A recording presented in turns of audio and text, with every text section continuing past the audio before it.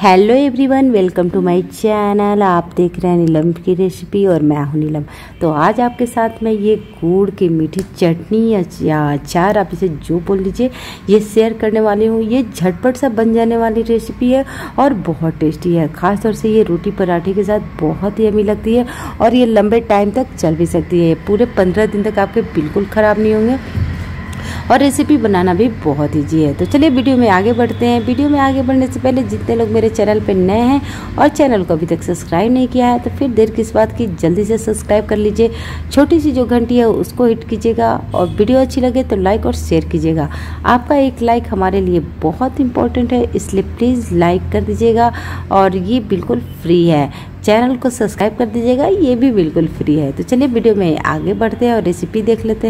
आम की खट्टी मीठी चटनी बनाने के लिए मैंने एक के जी कच्चा आम लिया है और इसके छिलके उतार लिए हैं। अब इसको हम कदकश कर लेंगे, यानी घीस लेंगे।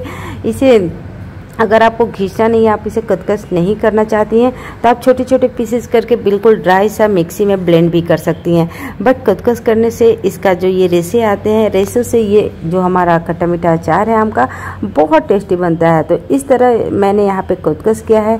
कदकस करने के लिए हमेशा मोटे छेद वाले ही कदकस का यूज़ आप कीजिए। इससे आपके जो अचार है, मीठे, वो बहुत ही टेस्टी बनेंगे। तो इस तरह देखिए, मैंने सारे आम के ये कदकस कर लिए हैं गुटलियाँ इनकी अलग कर ली हैं। अब एक यहाँ पे तवा लेंगे। तवा को क्या करना है? इसके लिए कुछ मसाले तैयार करेंगे। मसाले तैयार करने के लिए यहाँ पे मैंने लिया है वन टीस्पून जीरा वन टीस्पून सौफ और यहाँ पे लेंगे वन टीस्पून मेथी दाना। और वन टीस्पून अजवाइन इन चारों को बिल्कुल हल्का सा रोस्ट कर लेना है। हमें बहुत ज़्यादा ब्राउन नहीं करना है। बस इनसे थोड़ी सी खुशबू अच्छी आने लगे, तब तक हमें इन्हें थोड़ा सा रोस्ट कर लेना है। बहुत ज़्यादा आप ध्यान रखें कि रोस्ट ना करें। इन्हें हाई फ्लेम पे मैं नहीं रोस्ट कर रही हूँ। मीडियम फ्लेम पे रोस्ट कर रही हूँ। और जब ये हल्का हल्का सा इससे खुशबू आने लगे तो फिर गैस का फ्लेम ऑफ़ कर लेंगे। तो ये देखिए हमारा जो ये यहाँ पे एक कढ़ाई लेंगे। कढ़ाई में जो आम हमने कद्दूकस किया है, उसको इसी तरह डाल लेंगे इसमें घी या तेल कुछ भी ऐड नहीं करना है। हमें विदाउट घी और तेल इसे बनाना है। गैस का फ्लेम हम थोड़ा सा फुल कर लेंगे ताकि जो कढ़ाई हमारी है थोड़ी सी गर्म हो जाए। उसके बाद गैस का फ्लेम बिल्कुल लो कर लेंगे। यहाँ पर मैंने एक के जी गुड़ लिया था। कद्दूकस करने के बाद ये गुड़ हमारा कम से कम आठ सौ ग्राम होगा, क्योंकि गुठलियाँ इससे निकली हैं। आठ सौ ग्राम में मैं यहाँ डाल रही हूँ साढ़े ग्राम गुड़। ये देखिए। जो मीठा बहुत ज़्यादा खाते होंगे थोड़ा सा गुड़ और ऐड कर सकती हैं। यहाँ गुड़ की जगह पे जो चीनी खाना चाहते हैं, चीनी बिल्कुल बराबर मात्रा में आप यहाँ पे ऐड कर सकती हैं। प्रोसेस सेम रहेगा सभी का। तो ये देखिए इनको अब लो फ्लेम करके और इसे कवर कर लेंगे।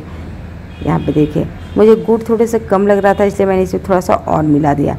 अब इसे कवर कर लेंगे करने के बाद कुछ देर छोड़ देंगे। तो ये देखिए, पानी जो हमारा है, आम में बिल्कुल छोड़ दिया है। इसमें मैंने थोड़ा सा भी पानी ऐड नहीं किया क्योंकि आम ऑलरेडी पानी छोड़ता है और गुड़ डालने से इसमें ऑलरेडी बहुत सारा इसमें ज़्यादा मात्रा में। अब इसमें हम थोड़ा सा मसाले ऐड करेंगे क्योंकि ये थोड़ा सा हमारा जो अचार है, वो देख रहे हैं आप कि थोड़ा सा ये पक गया है।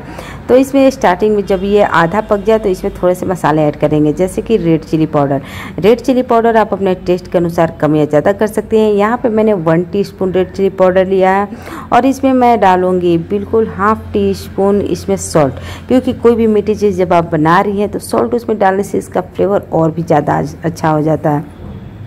अब इनको अच्छी तरह मिक्स करेंगे। अभी इसमें कोई मसाले नहीं ऐड करेंगे। बस जो मसाले हमने रोस्ट किए हैं, उसे हम इसको लास्ट में बिल्कुल ऐड करेंगे। तो ये देखिए, मैंने मसालों को अच्छी तरह मिक्स कर लिया है। अब इसको हम कवर करके फिर से पकाएँगे। जब तक कि ये जो हमारा अचार है या चटनी है, बिल्कुल ठीक ना हो जाए, तब तक हम इसे इसी तरह चलाते रहेंगे। कम या ज़्यादा गैस का फ्लेम आप करके पका सकती हैं इसे, क्योंकि हाई फ्लेम पे अगर आप पकाएँ तो ये देखिए, हमारा अचार जो है थोड़ा सा थिकनेस आ गई है इसमें। अब इसमें हम थोड़ा सा और इसे थोड़ा सा ड्राई कर लेंगे। गैस का फ्लेम मैंने बिल्कुल फुल कर लिया है और अब इसे हम ऑफ़ कर देंगे। इसमें ऑफ़ करने के बाद बाकी जो मसाले हैं थोड़ा सा ऐड करेंगे। ये मैं इसमें एक से दो पिंच हींग ऐड करूँगी। हींग इसमें बहुत ज़रूरी है। हींग डालने से इसका फ्लेवर अच्छा होता है, अचार भी अच्छा होता है। और ये जो मसाले हमने रोस्ट किए थे, उसका पाउडर मैंने बना लिया है। तो फोर टीस्पून इसमें मैं ये पाउडर ऐड करूँगी। इस तरह मैंने टू स्पून ऐड किया है और टी स्पून से अगर आप ऐड करती हैं तो four four teaspoon add करेंगे और इसको अच्छी तरह मिक्स कर लेंगे। ये देखिए।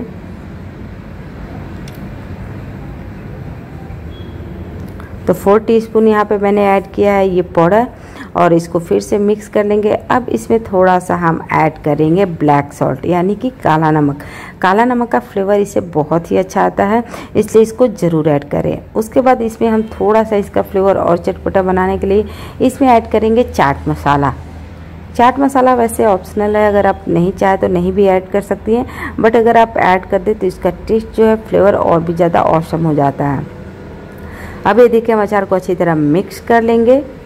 ये हमारा अचार लगभग बन के बिल्कुल तैयार है। हमें मसाले सारे पके हुए पहले से ही है तो हमें मसाले डाल के अब इसे नहीं पकाना है। इस तरह हम थोड़ा सा इसे मिक्स कर लेंगे और उसके बाद आप किसी भी कंटेनर में इसे डाल के फ्रिज में रख के इसे 10 से 15 दिन तक रख सकती हैं, महीना दिन तक भी आप इसे रख सकती हैं। तो ये देखिए थोड़ा सा इसमें मैं ऐड करूँगी चिली फ्लैक्स क्योंकि ऊपर से चिली फ्लैक्स का फ्लेवर और लुक दोनों बहुत ही अच्छा आता है। ये भी बिल्कुल ऑप्शनल है अगर आप नहीं चाहे तो आप स्किप भी कर सकते हैं। बट मुझे इस तरह इसमें जो मिर्ची दिखती है तो मुझे बहुत ज़्यादा अच्छा लगता है। तो इस वजह इससे मैंने इसमें थोड़ा सा चिली फ्लैक्स ऐड किया है। अब ये आम की खट्टी मीठी चटनी बन के बिल्कुल तैयार है। अब इसे हम गैस से नीचे उतारेंगे और इसको आ, किसी भी कंटेनर में आप डाल के रख लीजिए ताकि ये आपका बिल्कुल स्योर रहे। ये देखिए, इसका टेक्सचर कितना अच्छा है। अचार का कलर भी बहुत अच्छा है। इसमें मैंने टर्मरिक पाउडर टर्मरिक डाले ही मैंने इसे बनाया। टर्मरिक आप डाल सकती हैं। अभी मैं इसको आपको दिखाती हूँ। ये देखिए कितना टेस्टी लग रहा है देखने में, कितना औसम लग रहा है। और ये खाने में भी बहुत टेस्टी है।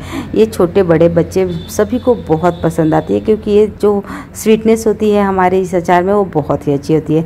तो चलिए, आप सभी को मेरी रेसिपी कैसी लगी प्लीज़ कॉमेंट करके बताइएगा। वीडियो अच्छी लगी तो लाइक और शेयर कीजिएगा। और मेरे चैनल को सब्सक्राइब नहीं किया तो फिर क्या सोच रहे हैं? जल्दी से सब्सक्राइब कर लीजिए और छोटी घंटी को भी हिट कर लीजिएगा। तो चलिए, इसी तरह नए नए और भी यूनिक रेसिपी लेके और सैलड डेकोरेशन लेके आपसे मैं फिर से मिलूँगी।